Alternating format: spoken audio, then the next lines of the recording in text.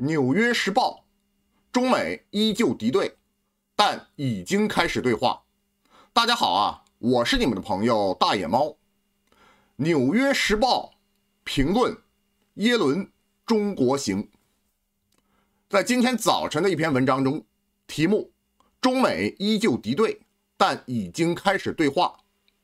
美国财长耶伦在与中国官员进行了十几个小时的会晤之后表示，两国尽管存在深刻的分歧，但双方仍将寻求更频繁的沟通。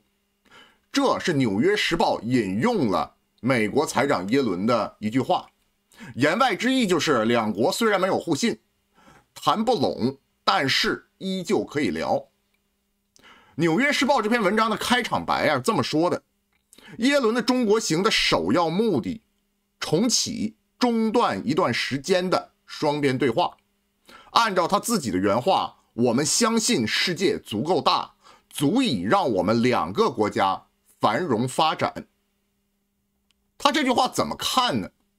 很像太平洋足够大，容得下中美两国，但是又不是这么一回事儿。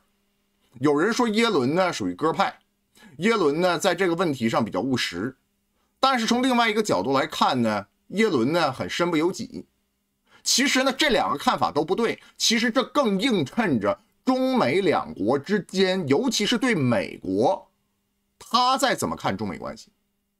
美国怎么认为中国对他在未来几十年的这种发展、几十年的这种运作，中国的角色到底是什么？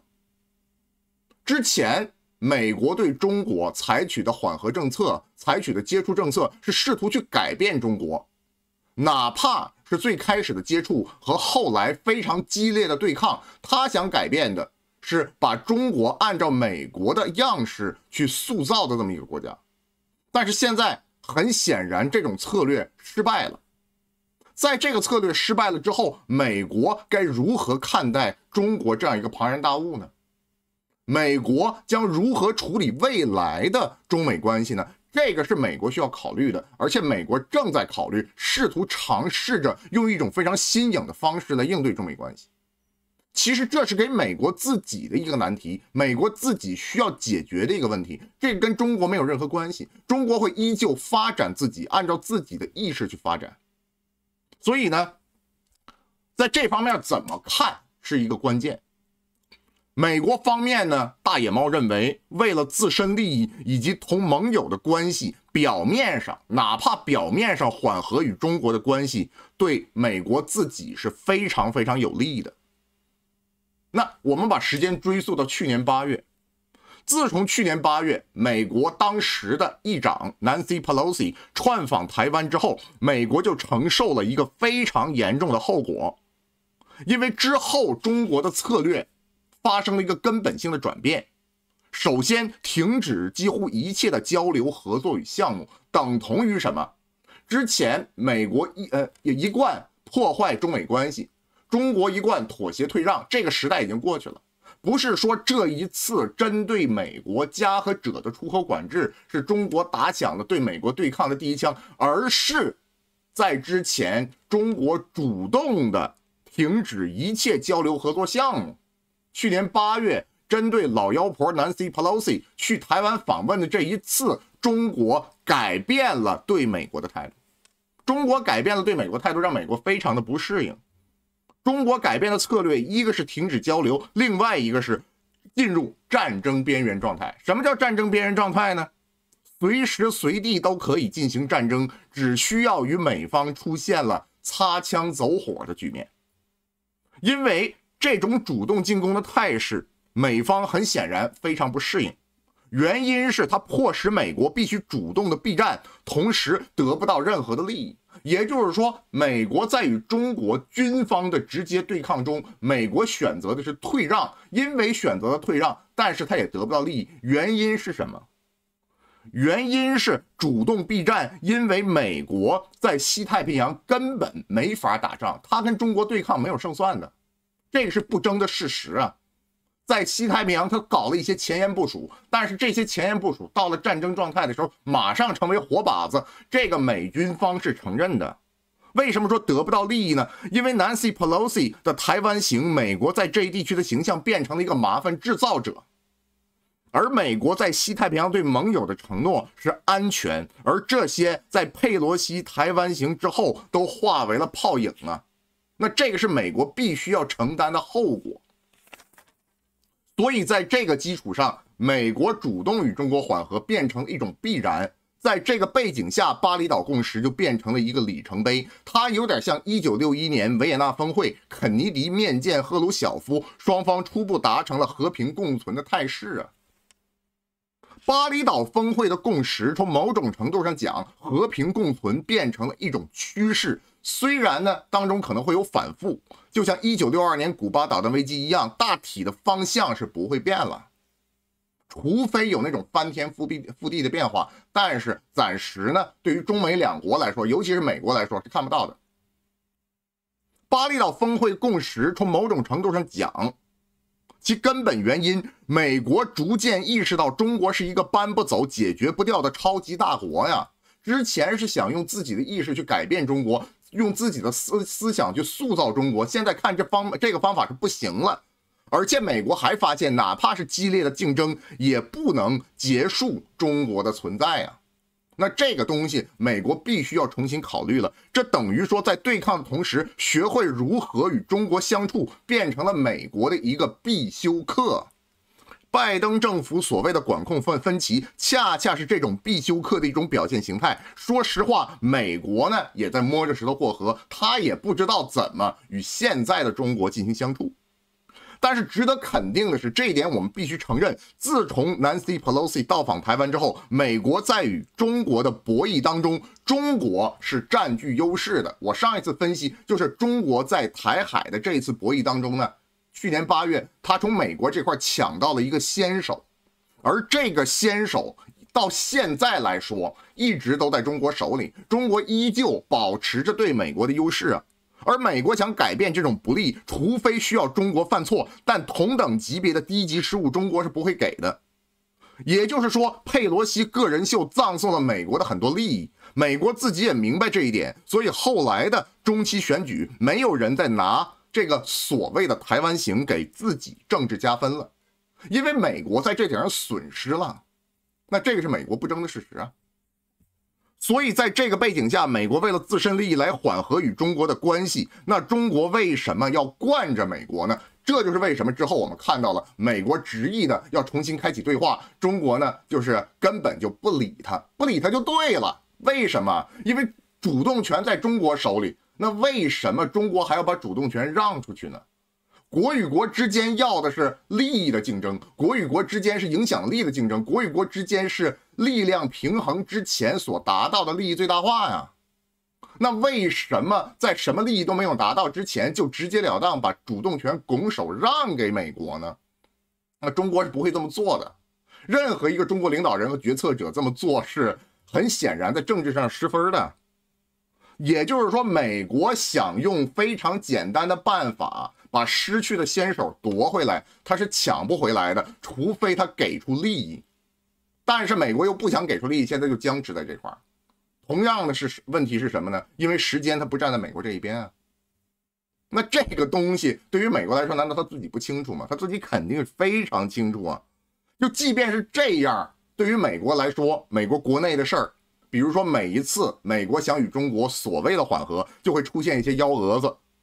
例如气球情报站的事儿，那中国的态度也很明确：你们自己的事儿，你们自己玩去，不缓和对中国有利，战争边缘政策对中国更有利。其中这里边非常重要的一个抓手就是台湾。美国懂得这个这个这个东西吗？美国当然明白。所以最近我们看到美国的转向是在南海，在台海这方面呢，美国逐渐淡化了。有一种说法是，美国现在已经基本上放弃了台湾。什么时候放弃的？在巴厘岛峰会的前后，但是这个是有待考证的，只是一种猜测。在这个背景下看，老妖婆耶伦的中国行，加上《纽约时报》的报道与论述，就变得非常清晰了。纽约时报》是说依旧敌对，但是开始可以谈了。也就是说，中国仍旧在战争边缘政策当中附带着的主动权。然后美国呢，试图通过对话来拿回来这个所谓的主动权。中国现在一直都没有给他。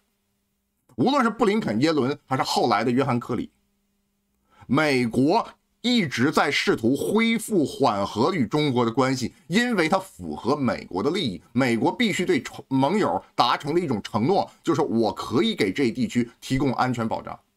但是中国如果依旧在搞战争边缘政策的话，美国只有一个方法，那就是退让，因为美国知道打不起。那美国知道打不起，然后美国在这方面依旧的军事存在，依旧的在去做其他的事情，那等同于在盟友面前是什么？你无论是退让还是不退让，你美国在这块就失去了存在的意义啊！而且中国会反复的给你证明，你在这一地区存在存在是没有意义的。那美国想办法干什么？与中国缓和，与中国缓和，他呢可以用这个时间在这一地区进行推牌。他推牌的目的是达到自己的利益最大化，但这一地区如果没有达到中美缓和的时候呢，那美国想推牌是不可能的。那这个美国是知道这种事儿的，所以他在迫不及待的想恢复关系嘛。所以我们看到了布林肯到中国去访问，然后我们又看到了耶伦到中国去访问，特色都是不一样的。布林肯强调的是民间交流，但是更重要的，布林肯想体现的是开会。他与中国最高的领导人见面，是布林肯可以写在回忆录里。至于耶伦，他这一次所体现的更多的不是开会，而是吃饭。这一点不知道大家注意没有？耶伦这一次访问着重点就在民间交流，无论是在三里屯的民间小吃，还是与女性经济工作者的聚餐，这个都体现了民间交流在耶伦这里成为一个非常重要的组成部分。有人说呢，他是想拿着中国民间的一些力量，然后来分化中国国内的舆论，有没有这种可能？其实不光他这么说，美国的中央情报局、美国的这些民主基金会一直都在这么做呀。但是耶伦这一次想做的，其实就是想怎么办？他自己谈判谈不拢了，然后呢，想通过民间进行传话嘛？但是他会成功吗？这个成功的点基于什么？两国有实际的缓和，美国根本改变对中国的政策，同时两国重新建立互信呢。当两国没有重新建立互信的时候，你看一看跟老妖婆耶伦吃饭的这些女性经济工作者，他们所得到的是什么？他们所得到的待遇是被中国的网友或者中国的民间舆论彻底否定啊。那这个是事实啊？为什么是这个样子？原因是中美两国失去了什么？原因是中美两国失去了互信啊。那中美两国没有了互信，你想通过民间交流重新建立互信，是一个非常漫长的过程。当你不去改变与中国根本性质的这个外交态势的话，那么互信是很难建立的。那这个也是一个事实啊。也就是说，耶伦他知道谈判是走走过场，谈不出来什么东西。有些事情还是最好在战场上解决，但是在战场上解决之前呢，通过民间进行分化瓦解也不是不可能做到的。最起码呢，他可以试一试。当然了，他可以试一试呢，最后呢也是一枕黄粱，南柯一梦。新华社对他的中国行具有建设性的，就是评论具有建设性的，比较中肯。有些东西变得已经很清晰了。我们通过这一次，无论是布林肯的中国行，还是耶伦的中国行，我们都可以看到几点。首先，总体上不脱钩。为什么不脱钩啊？那这个东西很明确嘛，美国没有那个实力。然后呢，在所谓的关键领域和安全方面继续进行遏制打压，这个其实就是美国的底线和自留地了。底线是什么？美国自己的科技霸权是不能放弃的。那自留地是什么？美国还得用这个。来 PUA 中国，最后给自己在国内政治加分，无论是共和党还是民主党。那么中国怎么办？中国针对稀有金属的管制可能会加码，以后我们可能会看到稀土方面的制裁。那这个呢，我们都可以看到。至于相互间不承认专利，也是一种可能性。但到了那一天的时候，美国跟中国拼的可就是工业了。那美国能不能拼得过中国是另外一回事儿。这是第二点，第三点。应该合作的地方呢，还是要进行。比如说，美国进行宏观的经济调控当中呢，还需要中国的制造业，要不然自己的通胀控制不了。美国自己也知道。第四点，全球治理，比如说气候、第三世界发展，该谈的还得谈。但是，至于开放金融市场以及买国债，美国就别要自作多情了，因为这种事儿不可能办到。当年没有得到的，如今你也别想得到。至于具体的一些事项，比如说特朗普时期的关税，这个呢，耶伦办不到，这个得看美国政府的态度，以及拜登政府与共和党之间的博弈。对中国高精尖企业的投资限制，这个还是美国的态度。但是有没有影响呢？从某种程度是讲呢，有一定的影响。关键点在于什么呢？美国对中国的态度是否可以改变？美国对中国的态度如果改变不了的话呢？之前我们提到的这些事儿呢，都办不到。我们也看到了，中国现在对美国也开始主动进攻了。如何主动进攻呢？我们知道，在大的层面上，我刚才讲过战争边缘边缘政策。然后呢，我们也看到了加和者的出口管制以及对美光的制裁。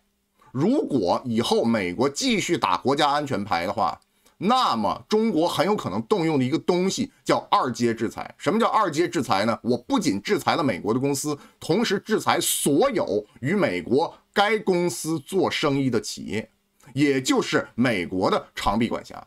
也就是说，全世界所有的厂子，你要与在美国的这家公司和中国之间做选择，到时候怎么选择，那就得看。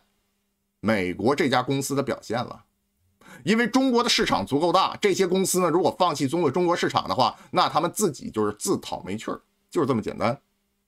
也就是说，你卡了我，我也同时卡了你，都别发展了。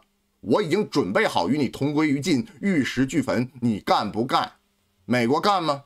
看着美国怎么选择了。最后，《纽约时报》引用了复旦大学的一名学者呀，这名学者这么说的。除非美方根本性的改变对华政策，否则不可能的真正的缓和。我觉得这句话呢是正确的，同时呢也是合理的。好了，这期节目就到这儿。喜欢大眼猫节目，别忘点赞、评论、转发。没订阅请订阅一下，谢谢大家。